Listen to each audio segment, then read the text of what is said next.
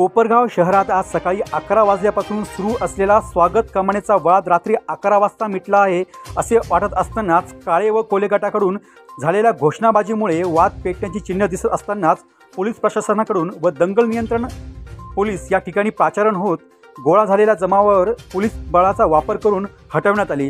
यावेळी उपस्थित जमावाची धावपळ उडाली होती. सदरचे सविस्तर वृत्त असे की कोपरगाव शहरातील छत्रपती शिवाजी महाराज स्मारकासमोरील जागेत कोले गटाला व त्याच्या थोडे पुढे भरकादेवी आईस्क्रीम पार्लरसमोरील जागेत काळे गटाला दहीहंडी साजरी करण्यासाठी परवानगी देण्यात आली होती. मात्र आज या ठिकाणी काळे गटाच्या वतीने स्वागत कामान लावण्याचे काम सुरू होत असतानाच यावर कोले गटाच्या कार्यकर्त्यांनी आक्षेप घेत पोलीस व नगरपालिका अधिकारी यांना बोलवून घेतले व सदर कमान ज्या ठिकाणी लावत आहे त्या जागेची परवानगी आमच्याकडे आहे.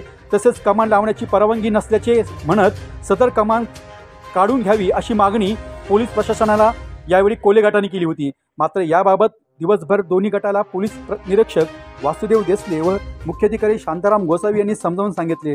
अनेक बैठकही घेतल्या. मात्र रात्री दहा वाजेपर्यंत दोन्ही गट आपल्या भूमिकेवर ठाम होते. यावर मुख्याधिकारी यांनी निर्णय घेत सदर वाद वादग्रस्त कमान उद्या बुधवार दिनांक सतरा ऑग सतरा रोजी काढण्याबाबतचे पत्रक पोलीस स्टेशनला येथे भाजपा कार्यकर्त्यांना देण्यात आले. मात्र त्यानंतर कोले गट छत्रपती शिवाजी महाराज स्मारकासमोर जमले.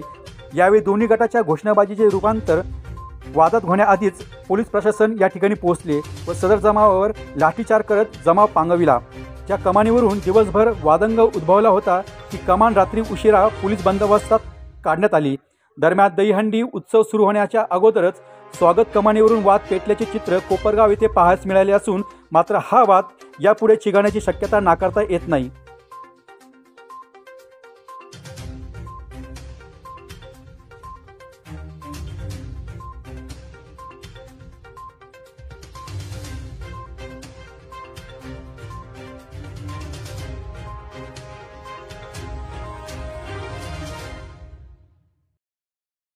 डी न्यूज वृत्तवाहिनी सामाजिक शैक्षणिक राजकीय धार्मिक सहकार सांस्कृतिक कृषी या सर्व चालू घडामोडींचा वेध घेणारी वृत्तवाहिनी डी न्यूज वृत्तवाहिनी वेध वर्तमानाचा.